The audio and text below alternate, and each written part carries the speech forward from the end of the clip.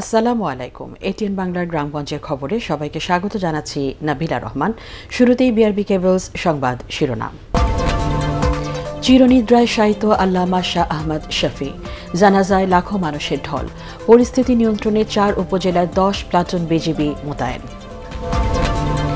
আটকে থাকা পঁচিশ হাজার টন পেঁয়াজ রপ্তানির অনুমতি ভারতের। স্থলবন্দর দিয়ে আসছে পেঁয়াজ বোঝাই ট্রাক। নারায়ণগঞ্জে বিস্ফোরণে হতাহতের মামলায় তিতাস গ্যাসের আট কর্মকর্তা গ্রেপ্তার। দগ্ধ আরও দুজন সহ মৃতের সংখ্যা তেত্রিশ। এবং গত চব্বিশ ঘন্টায় করোনায় দেশে আরও বত্রিশ জনের মৃত্যু, নতুন শনাক্ত এক হাজার পাঁচশো সাতষট্টি। শুনছিলেন বিআরবি কেবলস সংবাদ শিরোনাম। দীর্ঘ সময়ের কর্মস্থল চট্টগ্রামের হাটহাজারী মাদ্রাসার মাটিতেই চিরনিদ্রায় শায়িত হলেন হেফাজতে ইসলামের আমির আল্লামা শাহ আহমদ শফি। এর আগে মাদ্রাসা প্রাঙ্গণে অনুষ্ঠিত তার জানাজায় নামে লাখো মানুষের ঢল। পরিস্থিতি সামাল দিতে হাটহাজারী সহ আশেপাশের চার উপজেলায় দশ প্লাটুন বিজিবি মোতায়েন করে প্রশাসন। শুক্রবার সন্ধ্যায় ঢাকার একটি বেসরকারি হাসপাতালে মারা যান আল্লামা শফি। চট্টগ্রাম থেকে আবুল হাসনাতের পাঠানো ছবিতে রিপোর্ট করছেন ইকরামুল হক সাইম কখনো এমন জনস্রোত নামেনি একশো তেইশ বছরের পুরনো চট্টগ্রামের হাটহাজারী মাদ্রাসা প্রাঙ্গণে। আল্লামা আহমদ শফির শেষ বিদায়ে যোগ দেন, সারা দেশে ছড়িয়ে ছিটিয়ে থাকা তার অসংখ্য অনুসারী, সহকর্মী ও ছাত্ররা। শতবর্ষী আলেম মাদ্রাসাটিতে কাটিয়েছেন দীর্ঘ আশি বছর। চৌত্রিশ বছর ছিলেন মহাপরিচালকের দায়িত্বে। শনিবার দুপুর সোয়া দুইটার দিকে শুরু হয় তার জানাজা। এতে ইমামতি করেন আহমদ শফির বড় ছেলে মালনা ইউসুফ মাদানি। মাদ্রাসার উত্তর দক্ষিণ পাশের সড়কে কয়েক কিলোমিটার এলাকা জুড়ে মুসল্লিরা অংশ নেন জানা যায় শরিক হন স্থানীয় সংসদ সদস্য সহ বিভিন্ন রাজনৈতিক দলের নেতারা। এর আগে সবার কাছে বাবার জন্য দোয়া চান মাওলানা ইউসুফ। বড় হুজুর খ্যাত আহমদ শফি দেশে মাদ্রাসা শিক্ষার প্রসারে রাখেন গুরুত্বপূর্ণ ভূমিকা। কওমি মাদ্রাসাগুলোর অভিভাবক ছিলেন তিনি।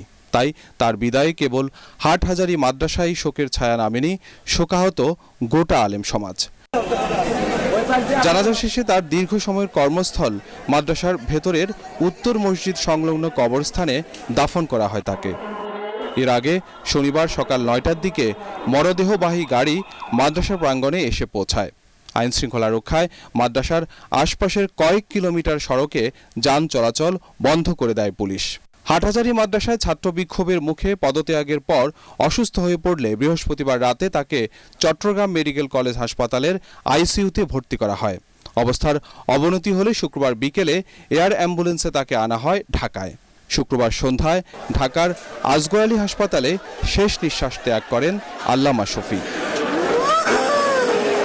দু হাজার দশ সালে ধর্মভিত্তিক সংগঠন হেফাজতে ইসলাম প্রতিষ্ঠা করেন আল্লামা শফি। এরপর বিভিন্ন সময় সরকারের পক্ষে বিপক্ষে অবস্থান নিয়ে আলোচনায় ছিলেন শতবর্ষী এই আলেম। ইকরামুল হক সায়েম, এটিএন বাংলা, ঢাকা। পাঁচ দিন পর আবারও ভারত থেকে পেঁয়াজ আসতে শুরু করেছে। সীমান্তকে আটকে রাখা প্রায় পঁচিশ হাজার টন পেঁয়াজ অবশেষে রপ্তানির অনুমতি দিয়েছে দেশটি। এ খবরে রাজধানীর বাজারে কমছে পেঁয়াজের দাম। পাইকারি মোকামে মান ও প্রকার ভেদে কেজি প্রতি পেঁয়াজ বিক্রি হচ্ছে পঁয়ষট্টি থেকে আশি টাকা দরে। বিস্তারিত শেরফুল আলমের রিপোর্টে। চাঁপাইনবাবগঞ্জের সোনা মসজিদ ও যশোরের বেনাপোল বন্দর দিয়ে ভারত থেকে আবারও পেঁয়াজ আসছে। ভারতের বাণিজ্য মন্ত্রণালয়ে বাংলাদেশি আমদানিকারকদের আবেদনের পর শুক্রবার রাতেই অনুমতি দেয় নয়াদিল্লি, যা নিষেধাজ্ঞার আগেই এলসি করা হয়েছিল। চোদ্দই সেপ্টেম্বর রপ্তানি নিষেধাজ্ঞার পর এসব পেঁয়াজ আটকে পড়ে বিভিন্ন সীমান্ত বন্দরে। এদিকে কক্সবাজারের টেকনাফ স্থলবন্দর দিয়েও ভিড়ছে মিয়ানমার থেকে আমদানি করা বিশ টন পেঁয়াজ বোঝাই কার্গো। বিদেশ থেকে পেঁয়াজ আসার খবরের প্রভাব পড়েছে রাজধানীর আড়তগুলোতে। ঢাকার অন্যতম পাইকারি আড়ত কারণ বাজারে মান ও প্রকারভেদে আমদানি করা পেঁয়াজ কেজি প্রতি বিক্রি হচ্ছে পঁয়ষট্টি টাকায়। দুই দিন আগেও যা ছিল পঁচাত্তর টাকা পর্যন্ত। সব কিছু বাজার কমতেছে। বাজার যদি আমদানি হয় তাহলে বাজার একটু কমবো। আমদানিকারকরা তার এক টাকা দুই টাকা লাভে যদি মালটা ছাড়ে তখন বাজার নিয়ন্ত্রণে আসবে। তবে কারণ বাজারের পাইকারির চেয়ে খুচরা বাজারে এখনও বাড়তি দামে বিক্রি হচ্ছে সব ধরনের পেঁয়াজ। পেঁয়াজ যতই বড় আগে থেকে পাঁচ কেজি কিনতাম এখন দুই কেজি কিনি। আর ইন্ডিয়ানটা বর্তমানে চলতে আছে ষাট পঁয়ষট্টি টাকা আর দেশিটা চলতে আছে আশি পঁচাশি টাকা। পেঁয়াজের দাম সহনীয় রাখতে নিয়মিত বাজার তদারকি করছে সরকারের বিভিন্ন সংস্থা। অনিয়ম খতিয়ে দেখতে আমদানিকারকদের সাথেও আলোচনা শুরু করেছেন কর্মকর্তারা। সাধারণ জনগণের অবস্থাটা দেখার জন্য আমার তো বাজারেই আসতে হবে। বাজারে এসে তারপরে না আমি পিছিয়ে যাব যে উনি থেকে আনলেন উনি থেকে আনলেন এবং এই প্রক্রিয়া আমাদের চলছে। আমদানিকারক এটা হয়তো এখনকার আমাদের অভিজ্ঞতা কিন্তু ওইখানে গেলে কিন্তু আমি সঠিক কারণটা জানতে পারব। সিন্ডিকেটের কারণে এবার পেঁয়াজের দাম বাড়ল বলে মনে করছে বাজার পর্যবেক্ষণকারী সংস্থাগুলো। শরফুল আলম এটিএন বাংলা ঢাকা। পাঁচ দিন বন্ধ থাকার পর দিনাজপুরের হিলি স্থলবন্দর দিয়ে ভারতীয় পেঁয়াজ আমদানি শুরু হয়েছে। বিকেলে সীমান্তে আটকে থাকা পেঁয়াজের চালান নিয়ে ভারতীয় ট্রাকগুলি বন্দরের পানামা পোর্টে প্রবেশ করে।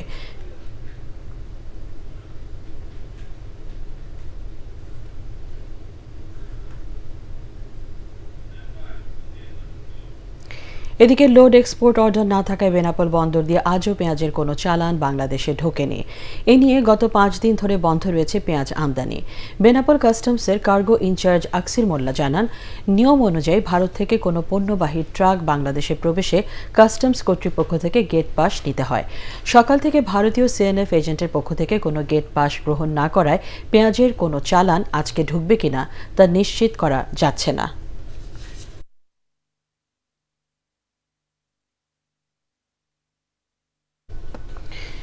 নারায়ণগঞ্জের পশ্চিমতলা বায়তুসালার জামে মসজিদে বিস্ফোরণ ও হতাহতের ঘটনায় তিতাস গ্যাসের বরখাস্তকৃত কর্মকর্তা ও কর্মচারী সহ আটজনকে গ্রেপ্তার করেছে সিআইটি সকালে তাদেরকে নিজ নিজ এলাকা থেকে গ্রেপ্তার করা হয়। নারায়ণগঞ্জ পুলিশ সুপারের কার্যালয়ে এক সংবাদ সম্মেলনে এ তথ্য জানান সিআইটির দায়িত্বপ্রাপ্ত ডিআইজি মাইনুল হাসান।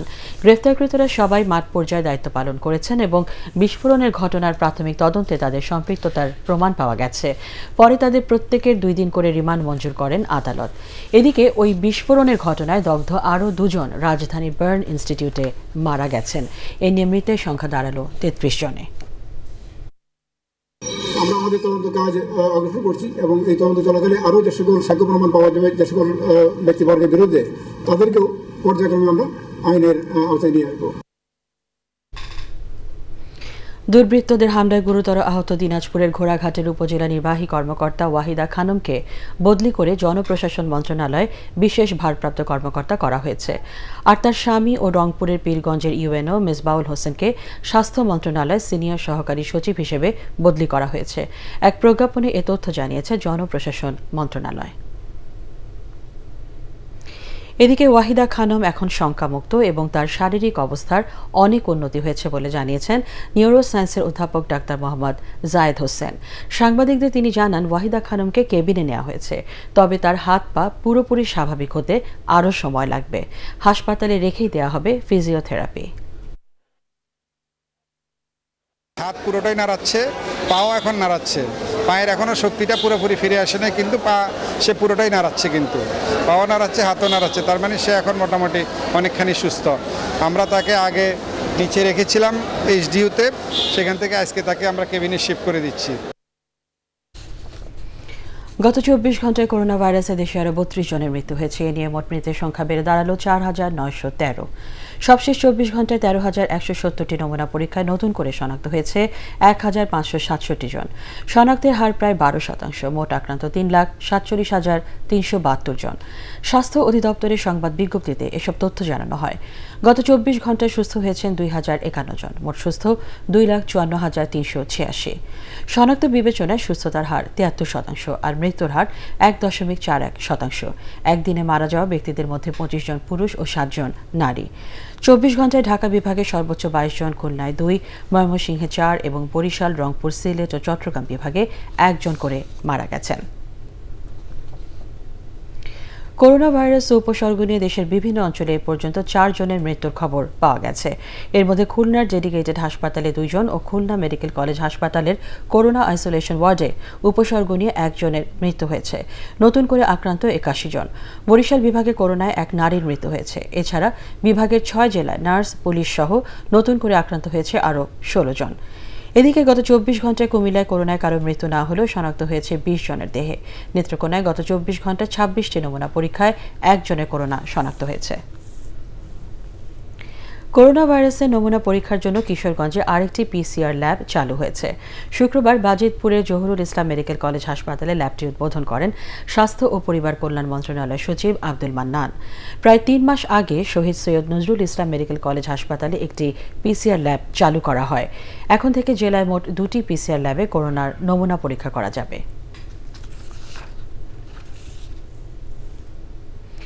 করোনার প্রভাবে অর্থনৈতিক ক্ষতি পুষিয়ে নিতে সরকার সম্মিলিতভাবে কাজ করছে বলে জানিয়েছেন স্থানীয় সরকার পল্লী উন্নয়ন ও সমবায় মন্ত্রী তাজুল ইসলাম। দুপুরে কুমিল্লায় বাংলাদেশ পল্লী উন্নয়ন একাডেমির তিপ্পান্নতম বার্ষিক পরিকল্পনা সম্মেলনের উদ্বোধন শেষে সাংবাদিকদের তিনি একথা বলেন। পল্লী উন্নয়ন ও সমবায় বিভাগের সচিব রেজাউল আসান সংসদ সদস্য আকম বাহাউদ্দিন বাহার, সিডাপের মহাপরিচালক ডক্টর চার্ট স্যাক বীরাপাত এ সময় অন্যান্যের মধ্যে উপস্থিত ছিলেন।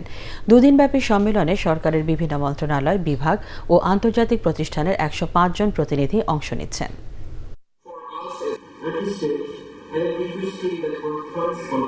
হাট বাজার বন্ধ করা সহ ইত্যাদি ইত্যাদি কাজগুলো করি পরিবর্তিত পরিস্থিতিতে আমরা আবার আমাদের উন্নয়ন কাজ সোশ্যাল ডিস্টেন্স মেনটেন করে আরম্ভ করেছি। এবং আস্তে আস্তে কোভিডের কিছুটা তীব্রতা কমে আসছে সারা পৃথিবীতে।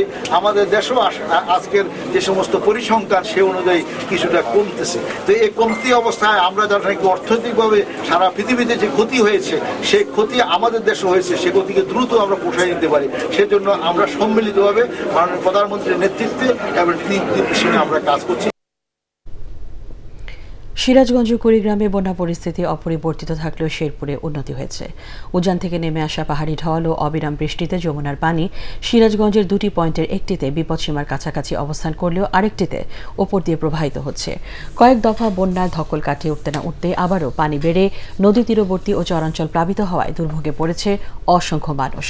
যমুনা নদীতে আরও দুই একদিন পানি বৃদ্ধি অব্যাহত থাকবে বলে জানিয়েছে সিরাজগঞ্জ পানি উন্নয়ন বোর্ড।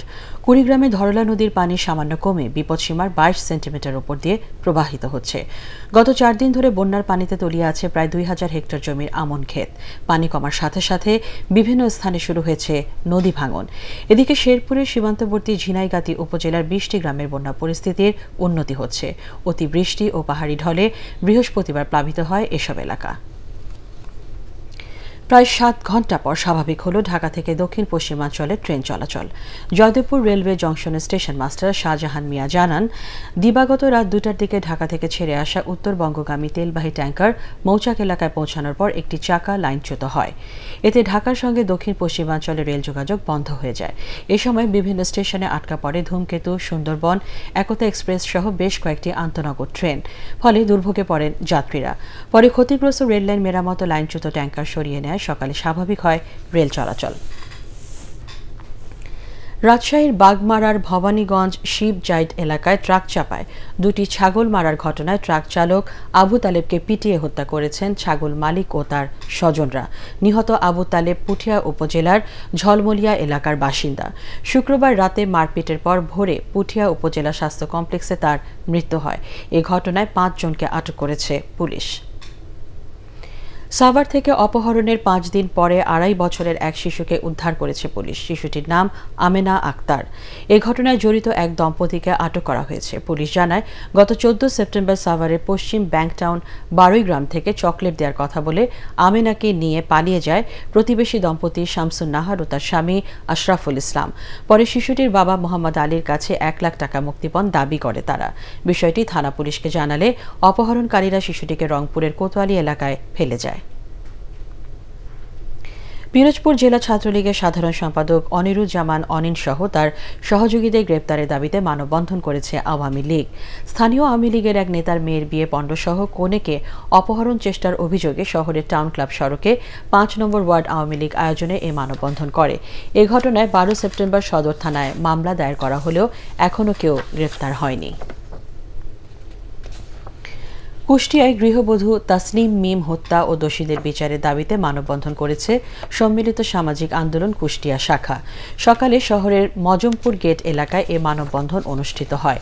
কর্মসূচিতে মিমের পরিবার সহ বিভিন্ন সামাজিক, সাংস্কৃতিক ও রাজনৈতিক সংগঠনের নেতারা অংশ নেন।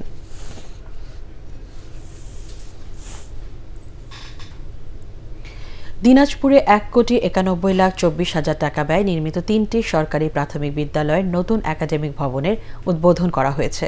উদ্বোধন করেন জাতীয় সংসদের বিপ ইকবালুর রহিম।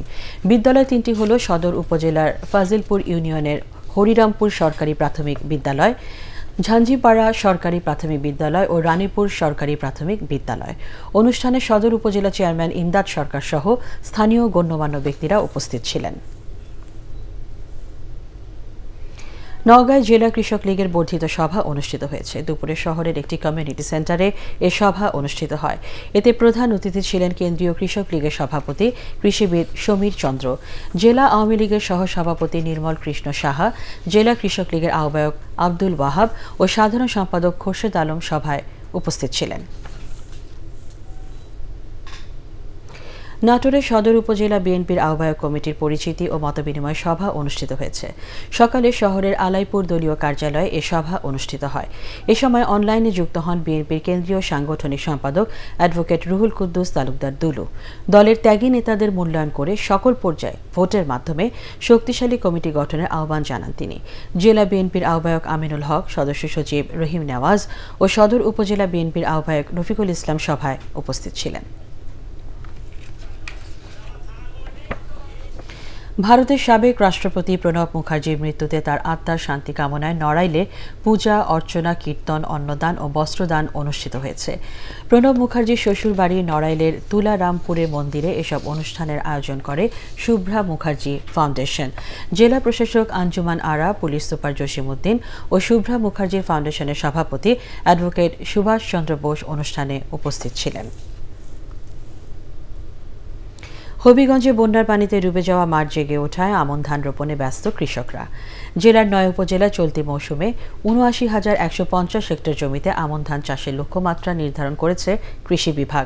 কৃষকরা জানান, আগের বছরের তুলনায় এবার ইরি বোরো ধানের ফলন যেমন ভালো হয়েছে, তেমনি বাজারে দামও বেশ ভালো পেয়েছেন তারা।